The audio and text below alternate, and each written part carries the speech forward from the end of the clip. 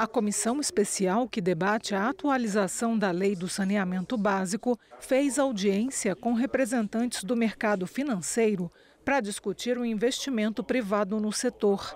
Essa é uma das inovações do novo Marco Legal do Saneamento, que já foi aprovado pelo Senado e agora é discutido na Câmara.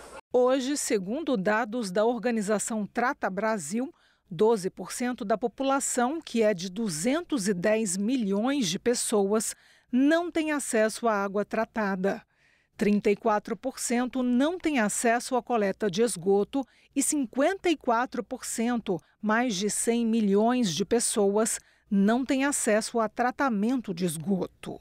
Na audiência, representantes de diversos fundos de investimento disseram que o setor de saneamento precisa de uma agência reguladora independente.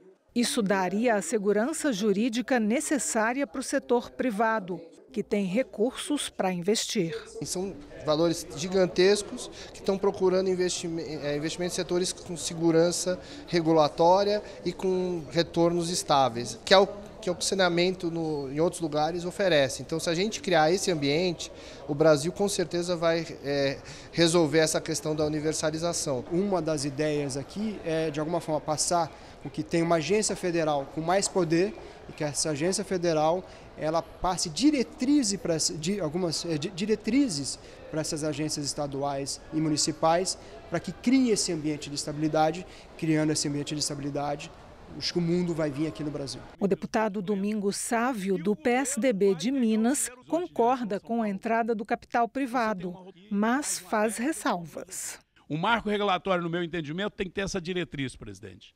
Onde é possível que a iniciativa privada opere, estabeleçamos regras claras e ali o saneamento deve sim ser concedido para a iniciativa privada.